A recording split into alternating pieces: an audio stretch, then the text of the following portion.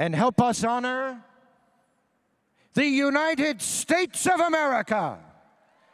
Out of respect for our country, we ask that you please remove your hats. Veterans, please salute. You're invited to join the Bucks County Community College Concert Choir under the direction of Rochelle Reed as they sing our national anthem.